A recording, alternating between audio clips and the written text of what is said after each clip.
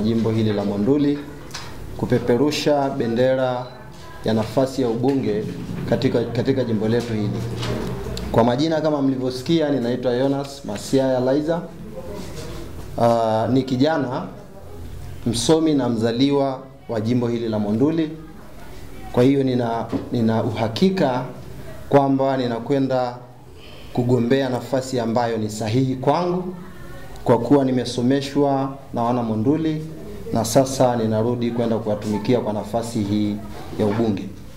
Kwa hivyo mimi ndiye Jonas, na wakati huu nitumie nafasi hii uh, kuwashukuru wanachama wa jimbo hili, nishukuru kamati kuu ya chama changu Chadema kwa kuniamini zaidi katika wale wote ambao tulichukua nafasi ya kugombea ya kuchukua fomu na kugombea nafasi hii, kwa kweli waliona nafaa kugombea nafasi hii na hata kupeperusha bendera ya chama chetu. Lakini pia niwashukuru wana Monduli, baada ya jina langu kupitishwa, nilipata response kubwa sana kutoka kwa wanamonduli inayoonyesha kwamba wana imani na mimi. Kila kona walinipigia simu, karibu kata zote, wakinipongeza na kuniambia tuko tayari kwa ajili yako. Lakini pia nimeweza kuzunguka kwa siku chache hizi, kwa sababu kampeni tumeanza toka tarehe ishirini na moja na nimepita maeneo mbalimbali. Nimekutana na vijana, nimekutana na wazee, nimekutana na akina mama, wote kwa pamoja wameonyesha kuniunga mkono. Kwa hivyo nina uhakika na kwenda kuwa mbunge wa jimbo la Monduli kwa miaka hii miwili iliyobaki, na kama nitarudi tena baadaye ataona na, nafaa kuendelea inshallah nitamshukuru Mungu. Kwa hivyo ndugu zangu waandishi wa habari, mimi ndiye mgombea wa ubunge jimbo la Monduli kama alivyosema Kamanda Sosopi. Asante. Ya, tunawashukuru sana Mheshimiwa uh, Laiza.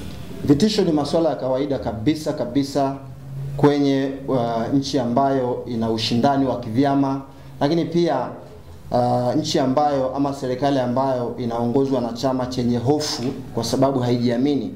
Wakati nachukua hatua hizi, walinipigia wengi simu wakaniambia, sasa utatolewa kucha, utatolewa jicho, upendi familia yako na kadhalika na kadhalika, lakini mimi nilisonga mbele kwa sababu nina imani kwamba wanamunduli wananihitaji. Kwa hivyo hivyo vitisho vipo, lakini pia tumeipanga kukabiliana navyo.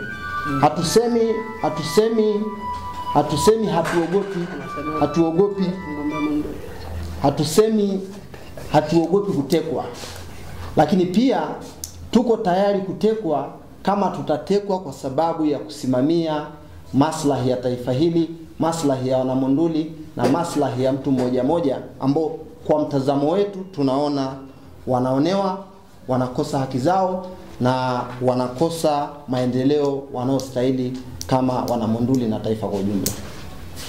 Tutahakikisha tunaweka bayana maeneo yote ya malisho ya mifugo kwa ajili ya wanamunduli kuweza kulishia maeneo hayo.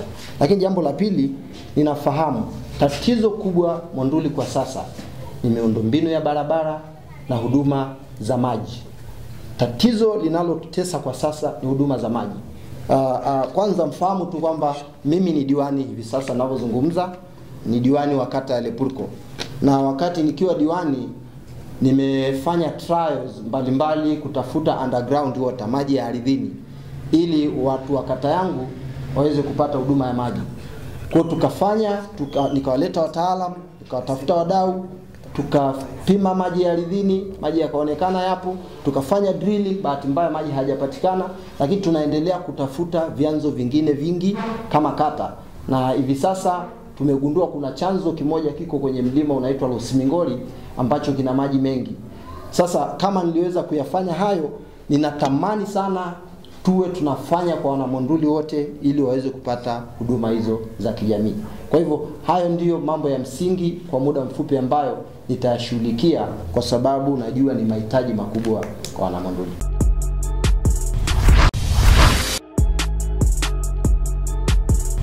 Uh, mimi ni Abdi Banda, mchezaji wa timu ya taifa ya Tanzania na klabu ya Baroka FC ya South Africa. Naangalia Global TV Online.